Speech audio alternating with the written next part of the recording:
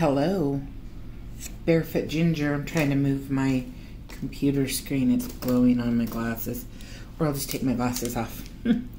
That's even better. Hello, everyone. Welcome to Friday. We finally made it. I'm just here doing some last minute stuff at my desk before I head out for probably a busy weekend. You can see that I. Let's talk about my right eye. So, I had my LASIK surgery in March, vision correction. Went fantastic. I didn't even have a blip of side effects or complications. Fantastic. In fact, they gave me some Valium that day that I didn't need because they say they offer it to everybody because those lights coming at you sometimes can cause some anxiety. And I don't get anxiety, but I am a tiny bit, no, not a tiny bit, a lot. I am incredibly claustrophobic and, you know, the machines are kind of close to your face. You're pretty open in the machines. If you've had it, you know the things. Anyway, so they offered me a very small dose of a sedative and I accepted it. Now, looking back on it, I didn't need it but it's nice to have it anyway. So I had that done in March, and here we are. Yesterday was June 8th, so March 8th. So it would have been exactly two months. April, April, May, June, three months. It's been three months. That's right, because I'm just about to go for my three month follow up. Anyway, so I try to stay light on the makeup, and today, pardon the face. Uh, this is the bare, the bare naked, the bare naked face ginger. Um, because I had an allergic reaction. I don't know if it was my makeup or what, but I was visiting a resident in one of my facilities yesterday and my eye started to feel pokey. Like, I don't know if you wear contacts, but sometimes when your contacts turn or they're old and brittle, they can feel pokey, like there's an eyelash in your eye. And that's how it felt. But I was almost done with my day and I was going straight home. So I kind of, you know, how you just kind of, you know, like that to see if you could find it with your finger, and nothing helped. And so I could feel it starting to get worse and worse. And by the time I got in my car, this was about 3:30. My eye was watering. I needed to go to the grocery store, but I couldn't handle it, and I'm glad I didn't. Um, I just thought I just need to go wash my face, go take off my makeup. So I used my my uh, makeup remover cleansing wipes and did a really really good face wash with my with my um, face wash stuff. So I got my face all nice and clean and it didn't help. Um, and I looked, you know, you pull your eyelid down, you look in the mirror, you get really awkward with your face and your position, and I couldn't find anything in my eye. I couldn't see anything. Couldn't see an eyelash, I, that, and all the things. I did all the things. And I couldn't find anything. So I thought, well, I'll just sit down and I'll listen to, to a podcast. So I sat in the recliner, put my feet up, closed my eyes for a few minutes. Benadryl made me sleepy. So I took a little bit of a cat nap, woke up, didn't help. My eye was bloodshot, completely red. The whole white part of my eye on both, the whole thing was just angry. And um, so, yeah, that wasn't fun at all. And then um, I don't know what else to do, right? I uh, I take a daily allergy medication because I do tend to be super sensitive to hay fever kind of stuff.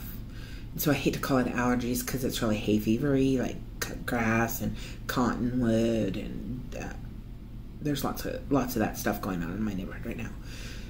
Anyway, so I took the Benadryl, and I'd already taken my um, regular allergy medicine. I take that in the mornings, and so I don't know what else to do. So I got a really cold washcloth, lay down on the bed. That didn't help. Um, so I was, and it was really sore. It, and and so here's why I told you about my laser, my laser eye surgery. I called my husband, and I'm like, I'm about to like stab my eyes out. And he's like, No, you can't do that. You have bionic eyes. It costs a, a lot of money for LASIK, so. Um, I have really precious eyes right now. My precious are both of my eyes. So I was bound to determine not to rub them because at three months they're completely healed, but don't tell me that because I think if I touch my eyes, they're going to fall out. That's me. just me. Nobody is telling me that. Nobody is trying to fool me. I am like, oh, I can't touch that. So it's a really good habit to break, rubbing your eyes and stuff. But I used to like when I'm cutting onions or you know I have dry eye or tears or whatever, I would just you know dab it. Now I use a tissue or whatever. Anyway, lots of different things. So I'm sitting there in the recliner and I've got my fist balled up and I'm trying to do everything I can. I sit on them, I do this, I grab my phone and I start playing a game, just trying to distract myself, and nothing is working because it hurts so bad. It's like a sandstorm hit my right eye. So I'm going to. Oh, I can't do that. I'm going to show you. Oh, and and I have hair issues today. I'm going to show you the after effect. That's what my eye looks like now. So, what happened? I don't know. I think it was just an allergy reaction. So, um, I have this little tiny bottle of um, over the counter allergy eye drops that I forgot about because I can't use them when I wear my contacts and even though I haven't had my contacts for three months, I still just kind of forgot about it. So, um, I remembered that it was in there, and so late last night I put some drops in and went to bed. Um, and I just put a podcast on, and I just closed my eyes.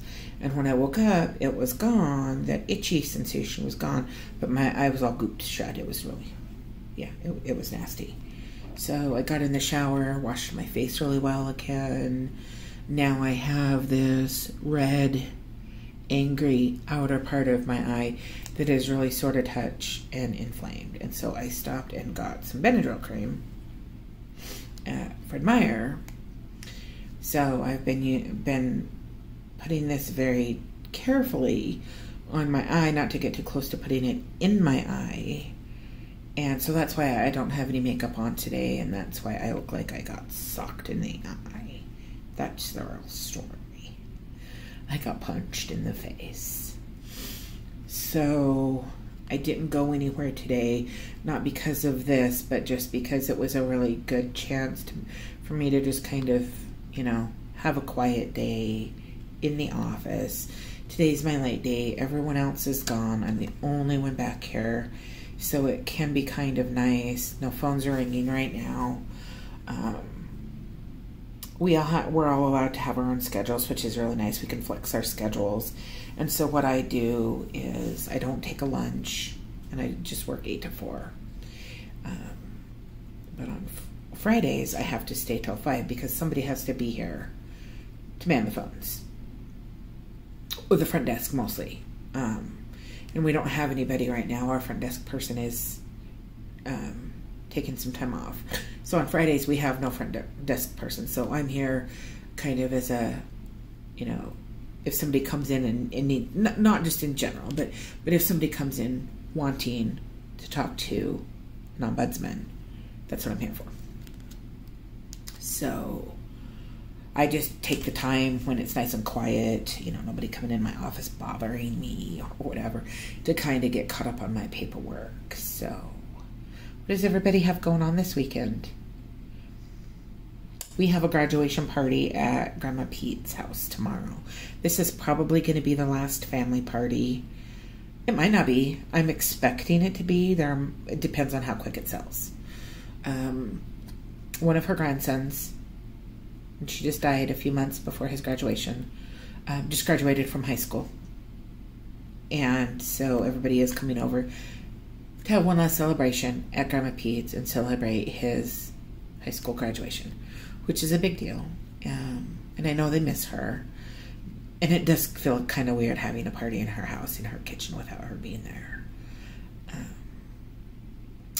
so we're doing that tomorrow. That's tomorrow afternoon. And then um, so we'll probably go over there around 11 or so and just you know i need to dry mop the floors tidy up the kitchen countertops, run some, you know, some Clorox wipes over all the surfaces. I'm not worried about COVID. It's just, it's been sitting. Um, I mean, my son is a caretaker there, but I mean, he's a bachelor. So what does he eat? Hot Pockets and Little Caesars pizza, let's be honest. So it probably could use a, a, a good once over with, you know, some cleaning supplies.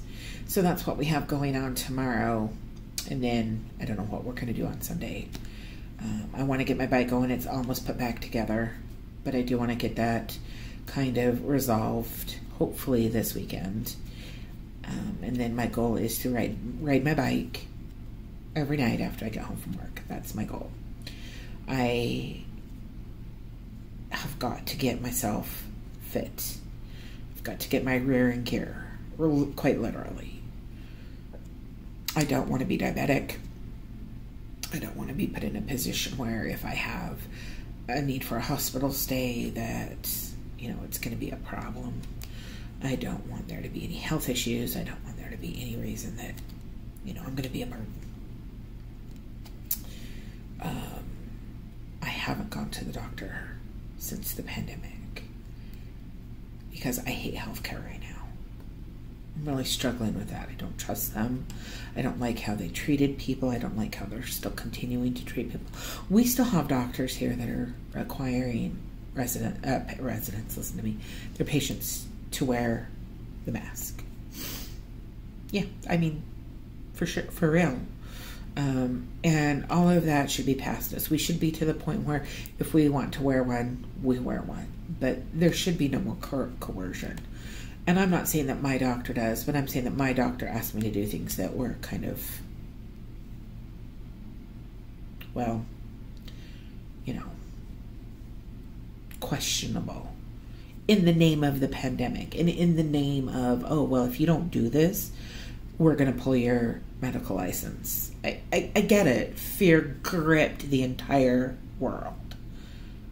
Was there anybody, was there anybody in healthcare that stood up and said, I'm not afraid?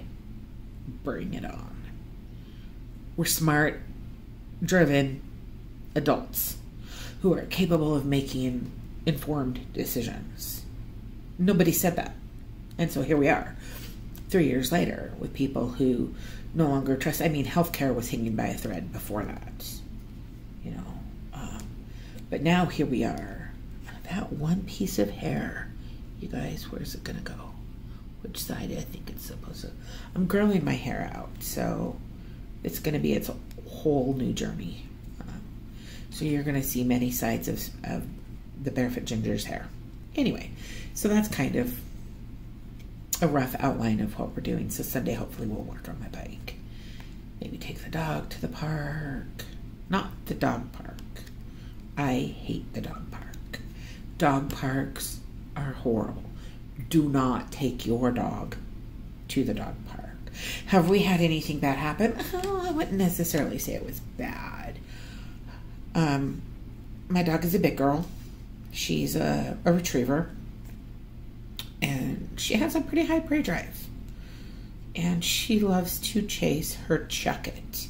A Chuckit is a brand of ball. It's a anodized rubber, special rubber. It's not rubber like a racquetball, but it's rubber kind of like material that's specifically designed for dogs, especially with dogs with a really strong chew, chew, chew drive, right? So she chases it and she bites it and she brings it back. And so we were at the dog park. Uh, it's been probably been. I don't think we've been to the dog park in five years, but uh, when we're there by ourselves, we're fine. But it's when other dogs show up, they steal her ball. Then she has to roll them, even though she's not mean. She has to roll them, and she has to let them know that that's her ball. Hold on, bend down and get this. Um, and it's the people attached to the dogs that are just careless. We had a batch of individuals who would bring their dogs to the dog park and then they'd, they'd all sit over, they'd congregate over on the tables and vape and gossip, and their dogs were just running amok and they were stealing my dog's ball and um, not giving it back. And so finally she pinned one of them to the concrete to get her ball back And these were millennials, entitled, young, stupid people who would have made it a big deal. They would have made it about my dog. So we left and we've never been back. But we take her to, we call it the park, but it's really a privately owned baseball field that allows people to bring dogs as long as you use common sense leash, pick up after them, well mannered, all those things. Um, and I can run her hard and drop her in like five minutes. She's done. Her her tongue is hanging out. She's slobbering. I can do that hard in five minutes. Um, throwing the Chuckit ball. It has this handle, so you can just pick it up off the ground, and you don't have to touch the slimy ball. And I and and it also lets me throw it farther because you can just kind of wing it. Um, so we'll probably do that. Yeah, don't ever take your dogs to the dog park, you guys even the little dogs. There is no good reason for dog parks. Dogs aren't dogs that go there aren't some are. I'm not saying this is exclusive how all dogs are. But enough dogs go to dog parks and just watch any YouTube video about what happens at dog parks. Dogs pick fights with each other, owners pick fights with each other. Um, people bring their unsocialized dogs Dogs get territorial, so many things. People just, people are creeps sometimes, and bad things happen at dog parks. There's so many other places to take your dog. Find a wide open field. If you live in the city, um, drive 10 minutes to find a rural um, city park. And even if you can't take them off the leash, most dogs are welcome in city parks as long as they're on leash. Um, and go for a walk at a park. Don't please, I beg you, don't take them to the dog park. Plus, if if they're sick, if they have kennel cough or parvo or distemper, um, they are putting the other dogs at risk. We adopted our dog, and she was a shelter dog, and she had kennel cough and we literally didn't take her anywhere for like three months, making sure that she was feeling better. If we had taken her to the dog park and been like, oh, she's done with antibiotics, but she still had the snotty nose and the cough and, you know, miserable eyes and all that, who knows if she's still shedding the virus. So just don't don't take the chance and, and just don't go to the dog park at all. Don't don't do it. There's that glare. Let's see if that's better. So yeah, so that's really how it is today. We'll we'll uh, see how this weekend goes, and I'm just gonna kind of see how everybody else is doing. I want to hear. People aren't commenting on my videos, and I'm not sure why. Well, I don't have very many subscribers, but I've had 105 views, which means people are watching them. They're just not commenting. I'm not sure what's going on. I want that dialogue. I, I, I want this to be a place where we can talk about things. We're adults. We're going to be kind to each other. But I want to talk about things. I, I love civil discourse and I love a robust discussion. So if you're a fan of dog parks, change my mind. So, all right, I'm going to get back to it real quick. This has been a, a cool 20 minutes. So it's going to be a short one today. I don't know if there's anything extra I want to add or whatever, but um, yeah. All right. Have a great weekend, everybody. You're loved. You're special. We'll talk later.